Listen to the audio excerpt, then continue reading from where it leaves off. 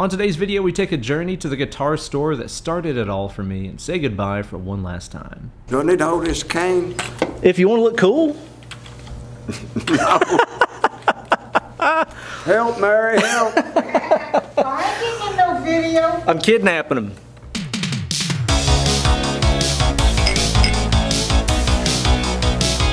Hey there kids, it's your good buddy, Uncle Ben. I think a lot of you guys watching this video will always remember your first guitar store, whether it be the place that you got your first instrument, or started taking your first lessons, or even met the people that would eventually form a band with you someday.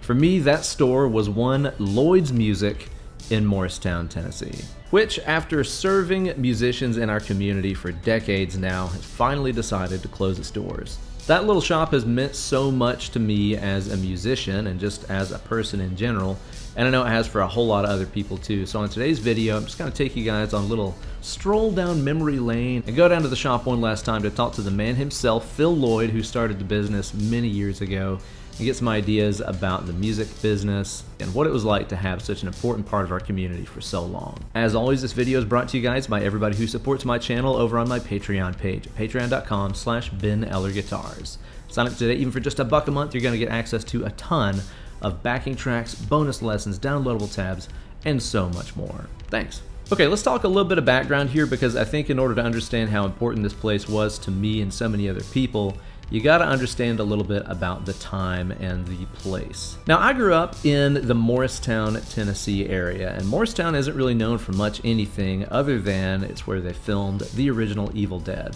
which is a pretty freaking cool claim to fame. I started playing guitar in the late 90s when I was about 16 years old.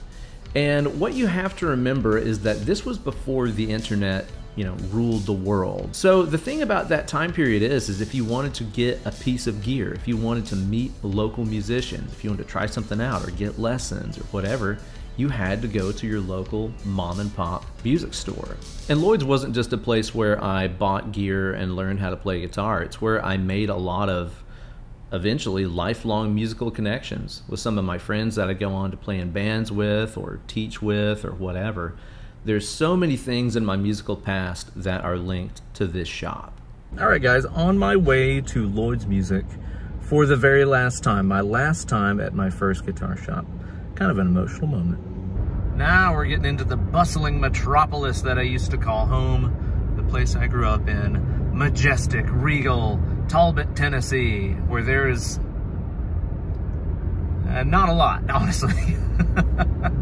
that little pharmacy right there used to be a Pizza Plus that I worked at delivering pizzas. Anybody that uh, knows me knows that I was born without a sense of direction, so the thought of me delivering pizzas pre-GPS era, pretty hilarious, but somehow I pulled it off and made it work. There's the old McDonald's. That was a big deal when we got a McDonald's here in town because it's on the way to Lloyd's. Maybe you could get yourself a Coke over there before your guitar lesson. Then you're having a pretty big old day, I tell you what.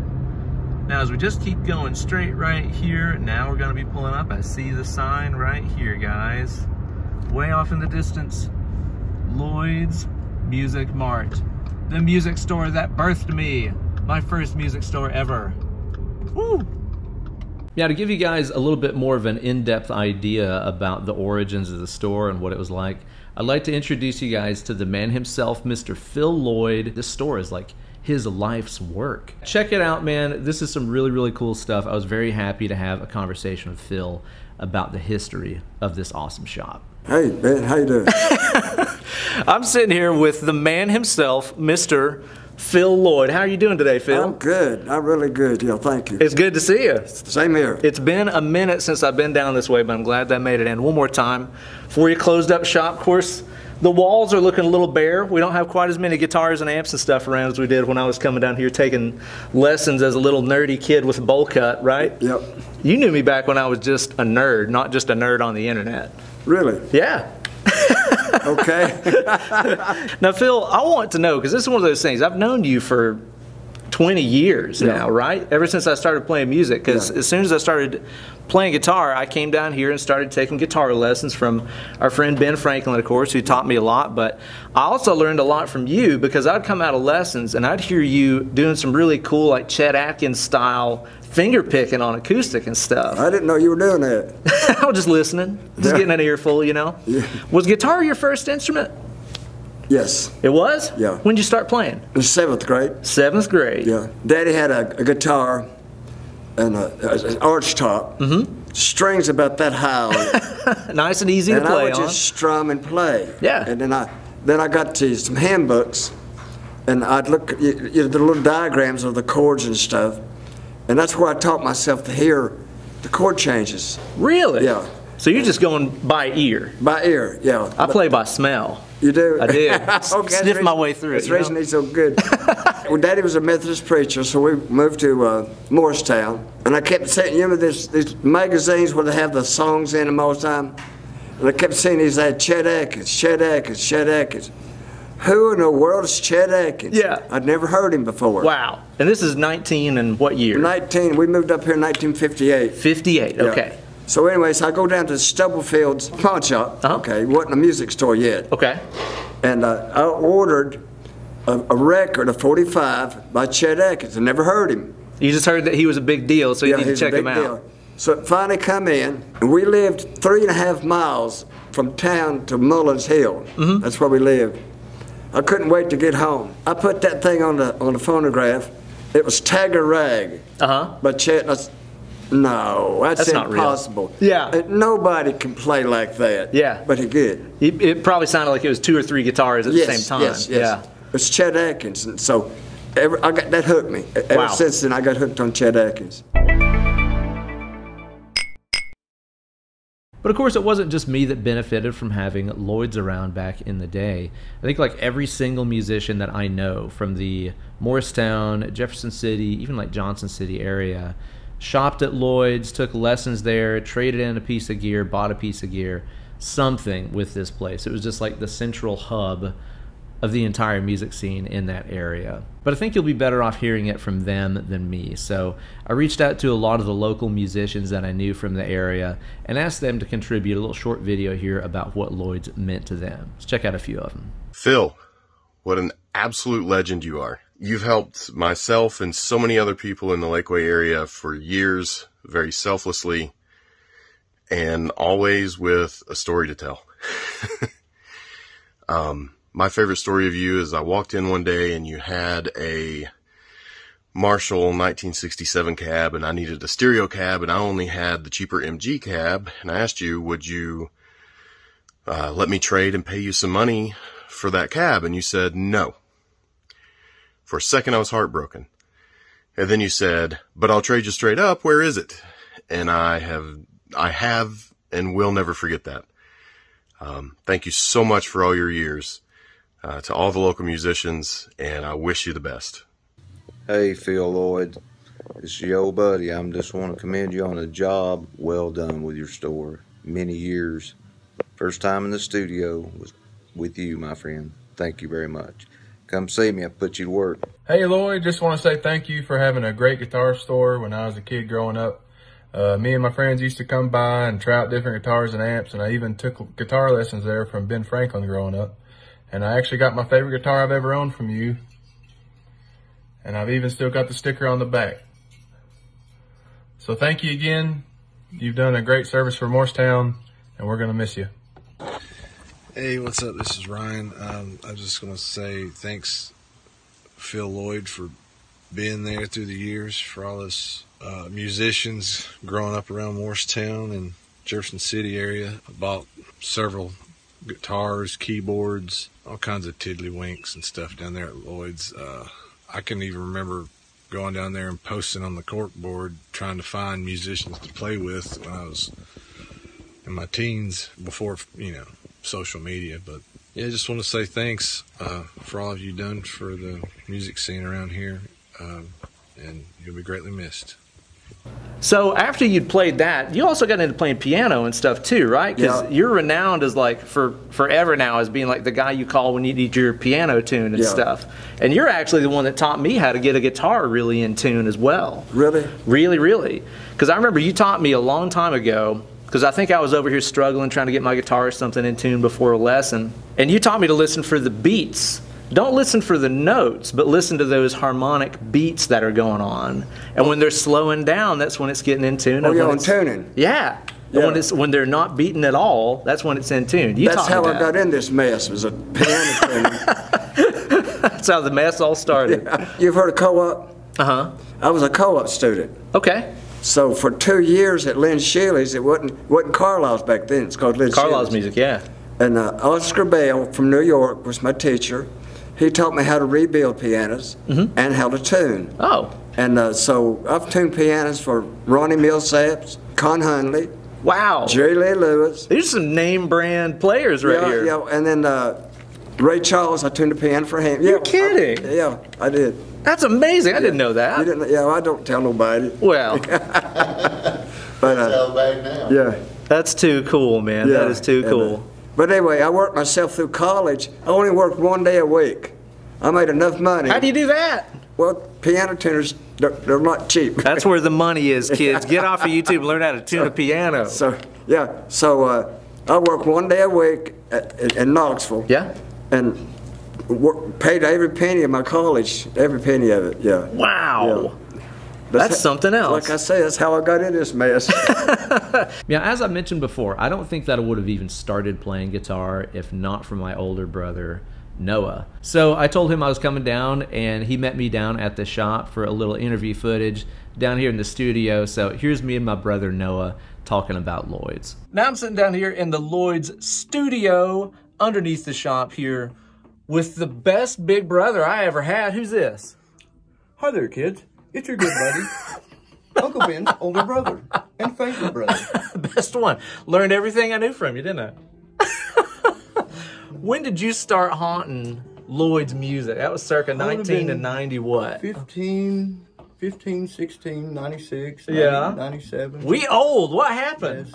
Yes, When did we get old? like a fine wine. Ugh. So you started coming down here when you started playing guitar before I did. You played guitar for what, two years, 3 years before I started? Mm-hmm. You came down here. You took lessons from our man Benjamin Franklin. Got me introduced to him. You learned the ways, and we learned how to irritate old Phil Lloyd You were pretty one, well. But you were the one that was a hoot to take around to Guitar Center and Will's Music and East Towne Mall. Will's music, yeah. Precious little straight hair, Bowl cut. bashful little boy that wouldn't talk. I'll pick some though. Golly. Now you're telling so my much secrets. fun. it was so much fun. But we had fun irritating uh, old Phil Lloyd. Phil Mm-hmm. had special names just for me and my brother. He called I'm you barcode. Bar Chord, and I was known as Power Chord.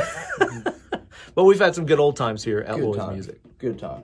You got all the dirt you can tell these people There about you go. what a bunch of annoying geeks me and my brother were. Old Power Chord and Bar Chord Yeah. down here bugging you all the time, right? I never will forget how I learned that, oh. I was getting on a plane in Los Angeles, Yeah. and it's filled full of musicians For the NAMM show. at the NAMM show Yeah, yeah. at Anaheim. Yep. And uh, so uh, one of the musicians saw one of his friends and says, Hey there, Bar Chord. and I thought, I can't wait to get home. Yeah, yeah. So I give you and your brother the names. you It's know. perfect. Yeah. Hey, Phil. Thank you so much for years and years of guitars and strings and amps and everything I might need musically. And uh, thank you most of all for all the times that we've shared being friends.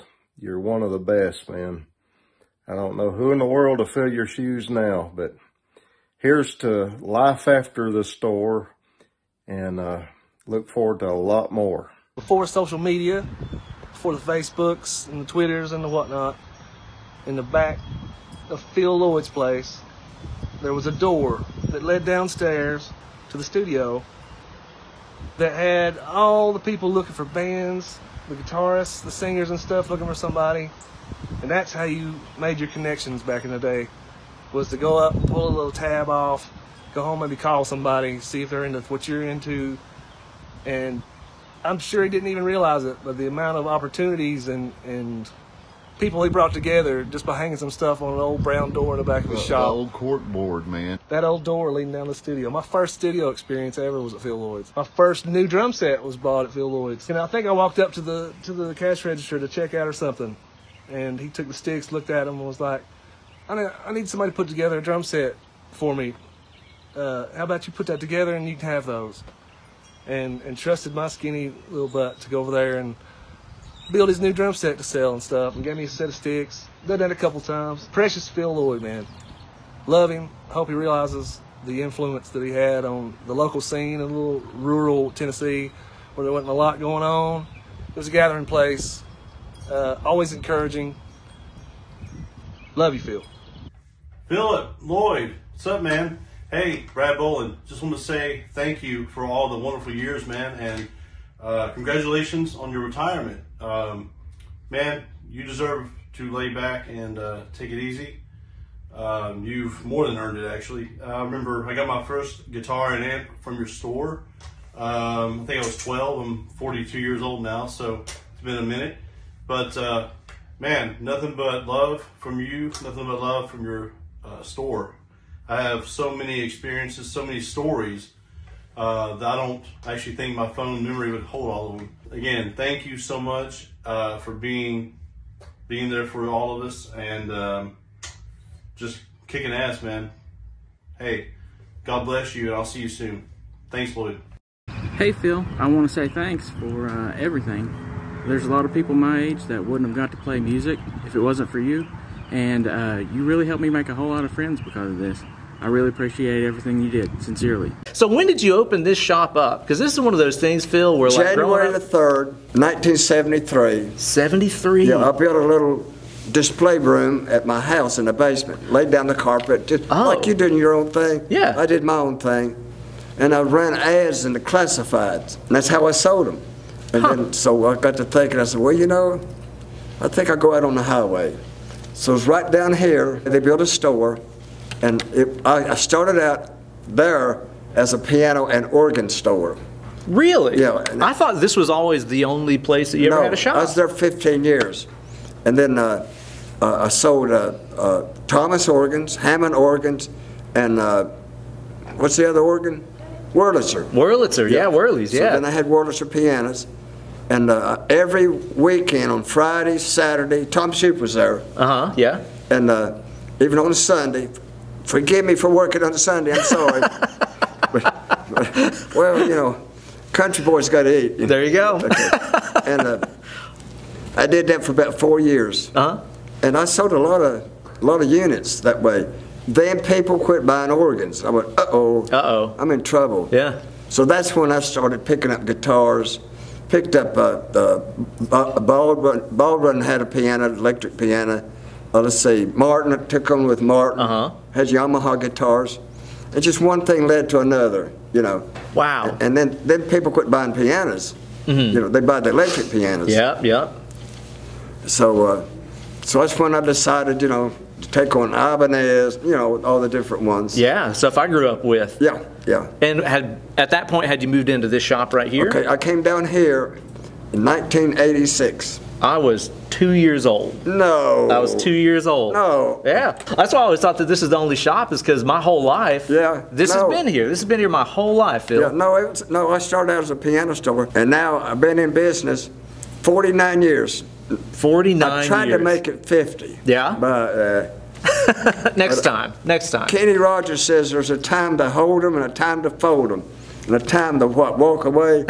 so I decided to walk away. Who are we to argue with the gambler himself I want to go to Tootsie's down in Nashville. and hang out. Yeah, there you go. Soak it in, man. I like it. Yeah. Yeah, this place has been here forever, and I, I seriously don't know any musician that hasn't bought something here, took a lesson here, hung out here, got strings, got picks. Like this place has seriously just been such a foundation for all of us around here, and that's something that I think, especially maybe a lot of younger people watching this might not understand. Is like, I started playing guitar in the late '90s. This is before everybody had the internet. For me and my brother and our friends, this was it. This was the only shop. We had the the trade center out there, which was kind of a pawn shop that had some Yeah. guitars. And there's Pick and Grin for just a minute, but that was too far out. Yeah. So for us, there was Lloyd's Music. So this is where you would go. Yeah. And that's something that I think a lot of people might even miss out on because coming down here and buying a guitar, buying an amp, or taking guitar lessons or whatever, this is where I'd hear somebody really cool picking over in the corner playing something I thought sounded cool, so I'd go over and talk to them, and then maybe end up in a band with them or whatever. Yeah, you yeah. know what I mean? A lot of connections are made made here. Absolutely so. And you can't get that when you're just clicking purchase and it shows up on your Two doorstep. weeks ago, you know Stanley Lemons. Uh huh. And uh, help me out. I'm having a, hey, I'm having a senior citizen moment. And uh, anyway, both of them are great guitarists. Yeah. They're sitting right over there. I didn't say a word. They both picked up guitars, and for 45 minutes, I was in heaven. Yeah. Those two guys were playing the guitars with each other. It was awesome. It's awesome. And that's something you don't get unless you're going to your mom and pop place. Exactly. In your exactly. town. You don't And- get that Uh, at Sweetwater. I think you have to. Wait a minute. Wait a minute. I love Sweetwater. Me too. Yeah, I do. I really do. About everything I got in my studio downstairs come from Sweetwater. so There you put that- go. Okay. But even just the experience of just coming down here and, and taking guitar lessons, whether it be down in the studio or sometimes I took lessons over here in the closet a few times. Yeah.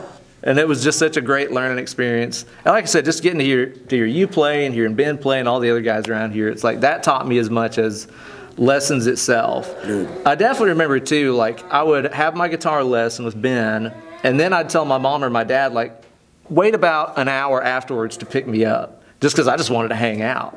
You know, this is my social experience. Good.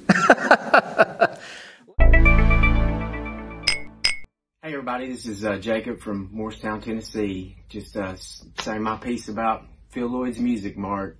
So many memories over the years. Um, as a kid, my first Les Paul was a gold top in the 90s. First time I ever saw a Gibson Les Paul in person. Um, my first drum set came from there for for Christmas one year as a Slingerland. My first time in the in the recording studio, real recording studio. Phil's Music Mart has meant a lot to me over the years for sure. The community talking with Phil, going in there and listening to stories about guitars or people he has run into over the years. Uh, uh, he's, he's a big NASCAR fan, which I know we could talk for hours about too. I just want to tell Phil, I appreciate all the things you've done in the community that have gone unnoticed. You've touched so many people's lives in more ways than you'll probably ever know. There's so many great musicians that have come through there that are making a living, uh, and just uh, weekend warriors like me, just having fun when we get an opportunity to go play. Uh, just from the bottom of my heart, thank you. Uh, there'll be a lot of out of tune pianos uh, around the Morristown area over the until we get somebody that can come back in and learn. But Phil, I love you, brother.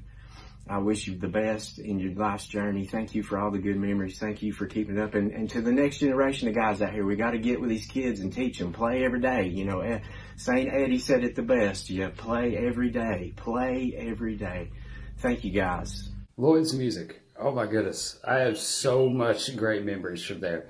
I uh, still remember being a uh, kid running around that place making all the uh, new music equipment look used from uh, sitting around and playing with it. Have a lot of great memories of Phil, just uh, how much I uh, learned in music, but not just music, but in business. Never forget the first task getting assigned with him putting together drum kits, and I'm building all these drum kits just like you would set them up to play, and he'd be like, "No, no, you've got to like stretch it out and make all these colors look good and make them flail and look beautiful." You know, I learned a lot through that. Uh, I definitely learned a lot about business and the foundations and how that runs. And you know, fast forward 25 years later, and I'm running you know, tens of million of dollars of stores uh, across the board for several companies, and I still tell that story uh, about uh, first experience in putting together drum kits and uh, laying those pieces out and uh, making it look appealing, and just kind of the first dabble in visual merchandising.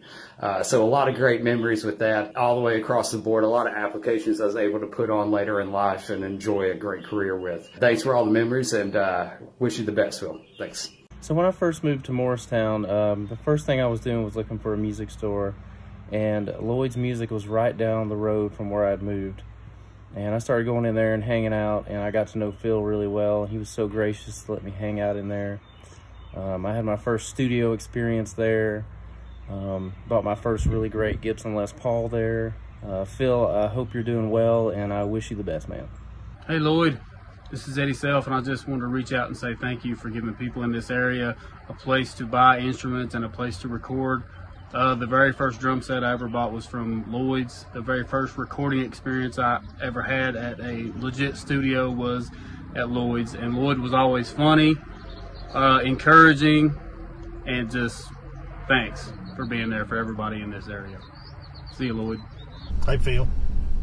I just want to say to you, Phil, that uh, we appreciate you, all us kids, and I mean kids because we were all kids when we started coming up there to your store, to your shop. And uh, I just want to say thank you for being such a sweetheart to us and always giving us a good deal and uh, for putting up with us because I'm pretty sure Smoke on the Water might have been played once or twice.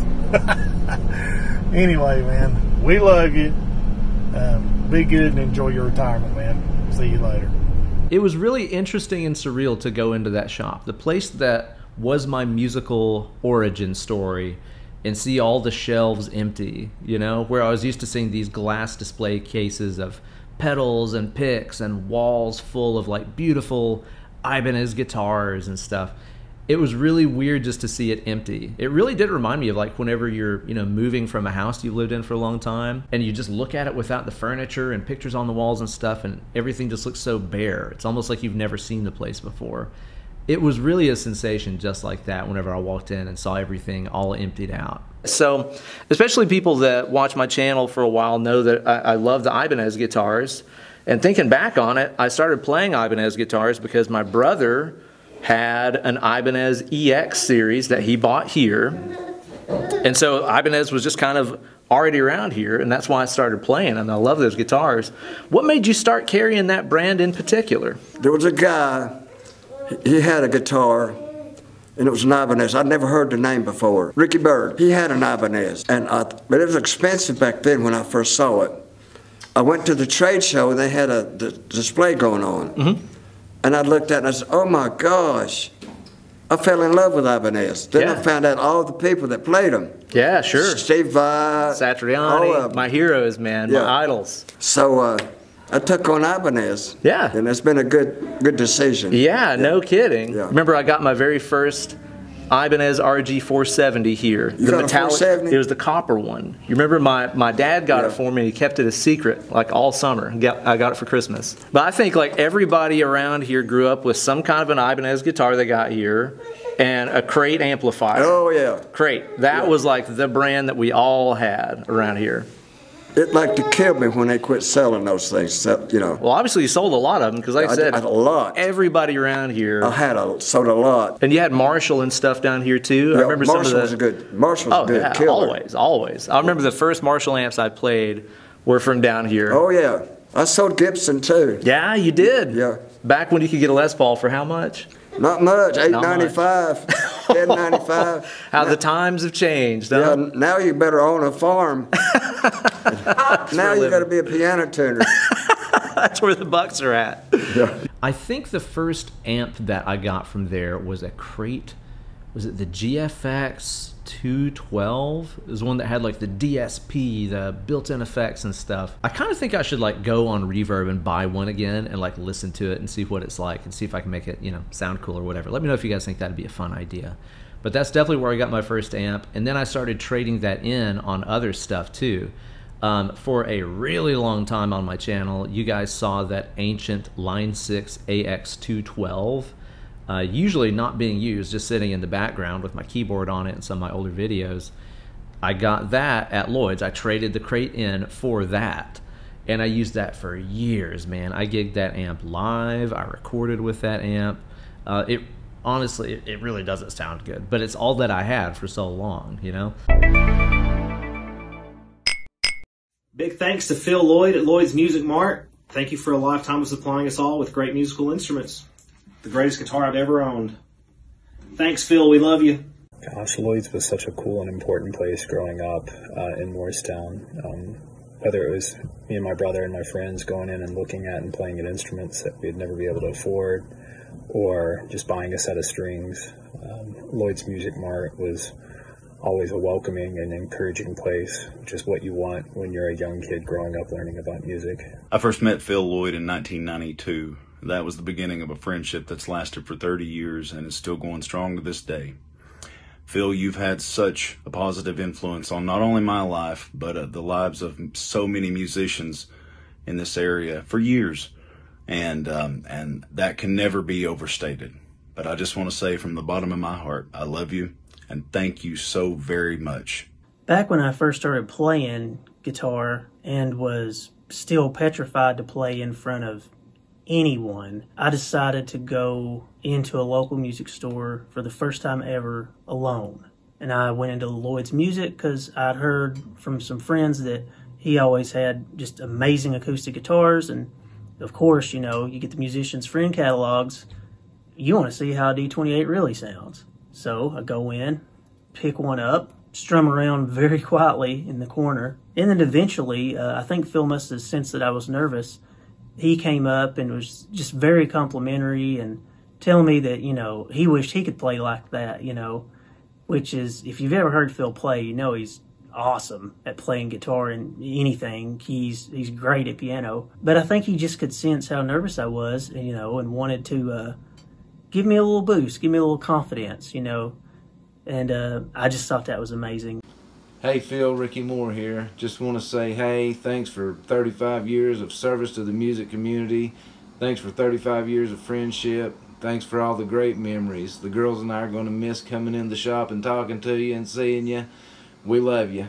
Hey, hey, Daniel Kimbrough here. Just wanted to say a few words about Phil Lloyd and his wonderful music store. A special place in my heart for sure. My parents and I had a family bluegrass band, and our first record uh, was made downstairs in the recording studio. And uh, get home from, from high school and try to do some homework or something, and then later in the evening we'd run down to Phil Lloyd's and sneak downstairs and had the place all to ourselves, and I would go upstairs and play a lot of guitars, you know, while vocal takes or whatever were happening. And years before that, we had a, a cover band in Morristown with some other friends.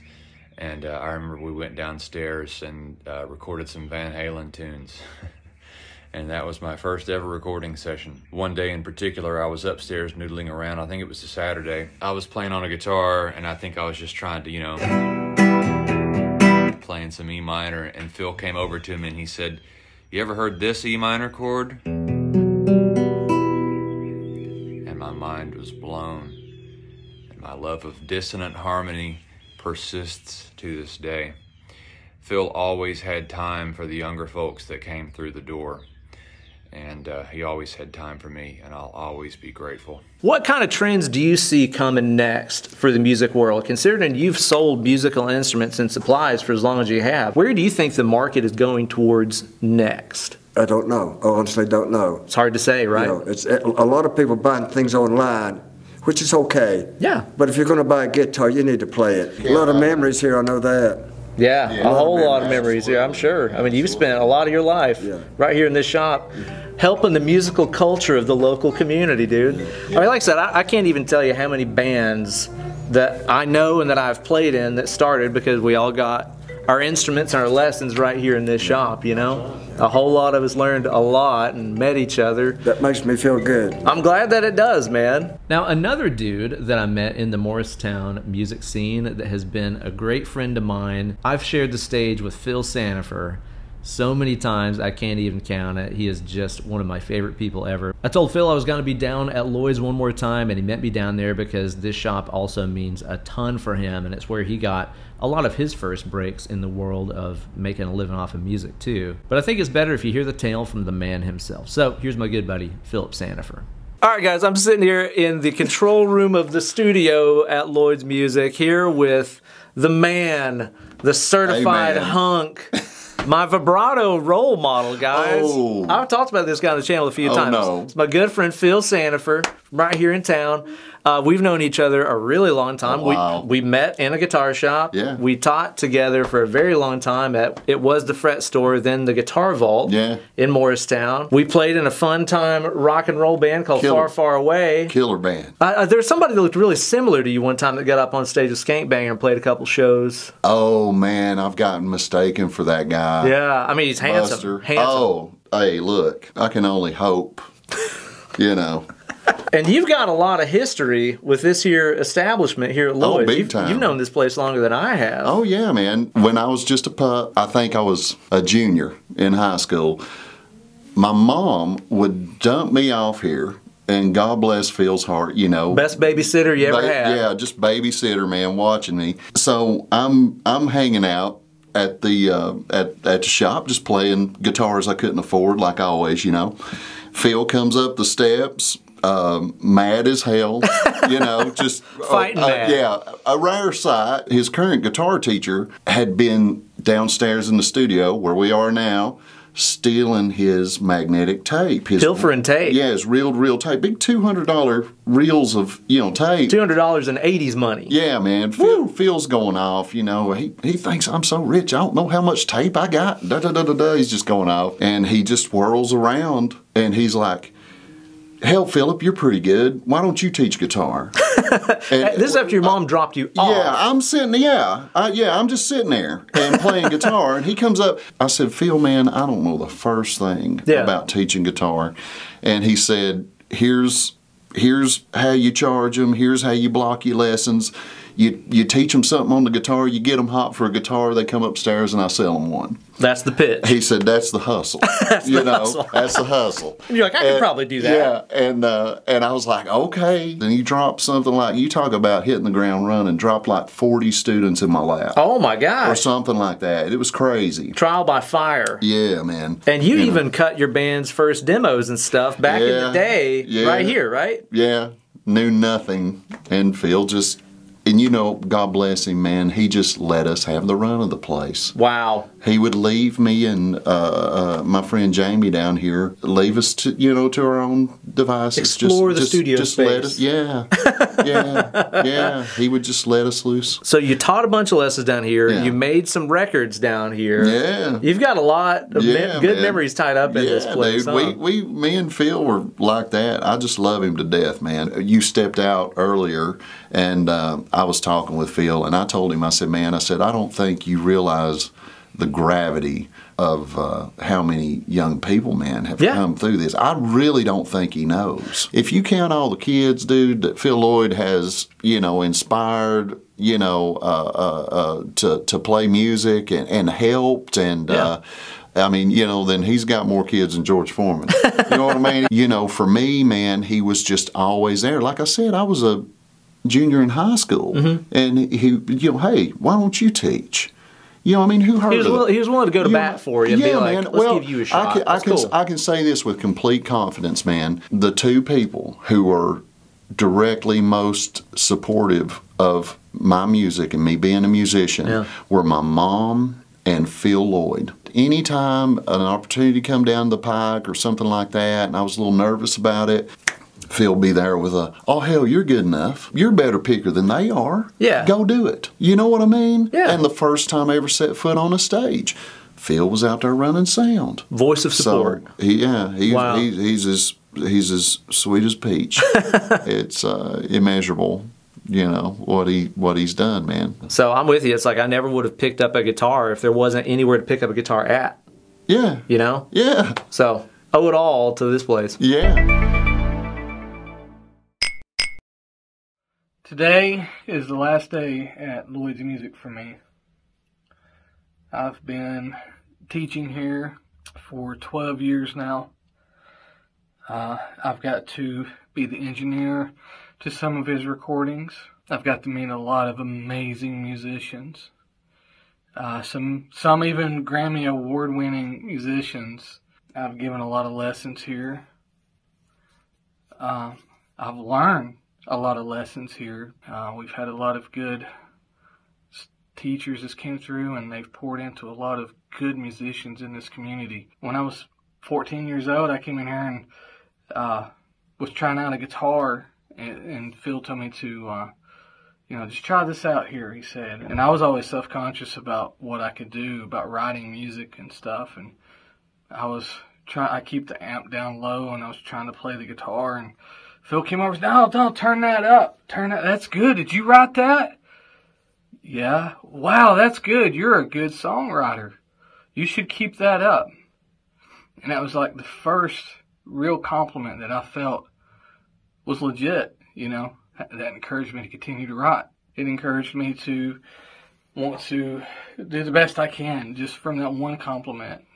And I came in one day and another day, and he was like, uh, "Hey Billy, string up this guitar for a customer for me. I'm I'm kind of busy." And I was like, "Oh my gosh, I I can barely string my guitar up, and he wants me to string up someone else's guitar." And I'm stringing it up, and I was so nervous, I was shaking, and and I, I knew better than this, but I'm tightening the string, and it popped, and I was just like, "Oh my God, Phil's gonna kill me." But He didn't. He did like a father would. Ah, there's another set of strings over there. Go get them.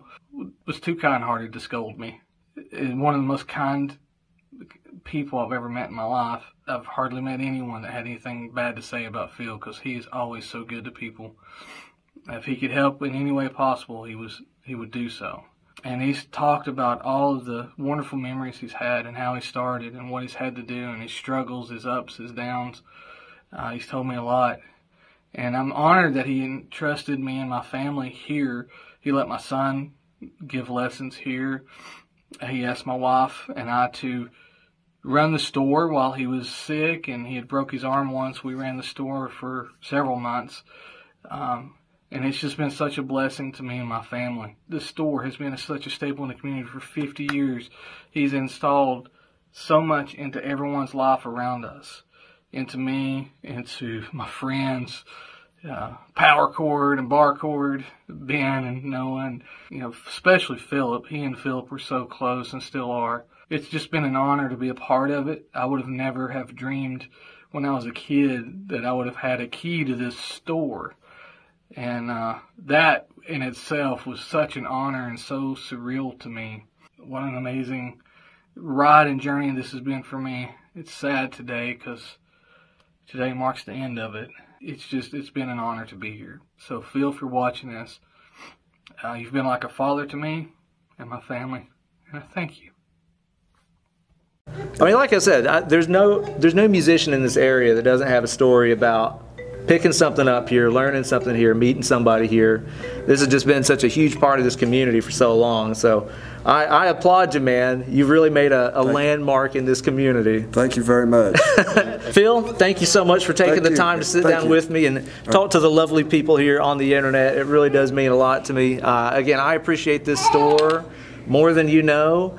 I wouldn't be playing guitar. I wouldn't be doing this YouTube channel. None of this would exist without Lloyd's music. We're so. try to get him to go to Hollywood. He's a natural actor. none of this would exist without this shop right here. So, on behalf of the, as of right now, 420,000 people that are subscribed to this channel, we all like to thank you because this That's a channel, lot, wouldn't- ain't it? that's a lot. This channel wouldn't exist without this shop right here. So, thank you very much, Phil. Yes, sir. So there you go, guys. A little stroll down memory lane and a bittersweet goodbye to the guitar store that made me. Honestly, it's kind of crazy to think about. Uh, but I know a lot of you guys watching this video have, have never met Phil Lloyd, have never been there, but we all owe him a debt of thanks because if that little shop hadn't been there, I wouldn't have started playing guitar. I wouldn't have taken guitar lessons. I wouldn't have decided to pursue music as, you know, my life's work. And you wouldn't be watching this without this shop. So down there in the comment section, please just be sure to say thank you, Phil Lloyd, for everything that he did and all the people he inspired and got gear to and gave jobs to and all the other good stuff. That shop meant a whole lot to me. And again, it's it's Phil's life work. It wouldn't exist if not for that guy. So be sure in the comment section to say thanks a bunch, Phil. And thank you guys so much for watching this video. Much appreciated. Be sure to like this video, subscribe to the channel, ring the bell for notifications, yada yada yada, all the usual YouTube stuff, you know. And if your town has a local mom and pop music store, be sure to head down there and buy a pack of strings or something, hang out, maybe meet some cool local musicians, and start making some musical memories of your own. Cheers. I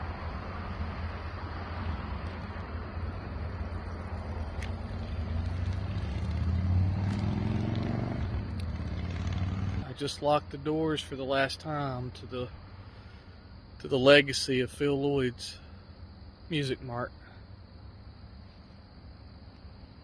A lot of good memories here. Thank you so much, Phil. We love you, buddy.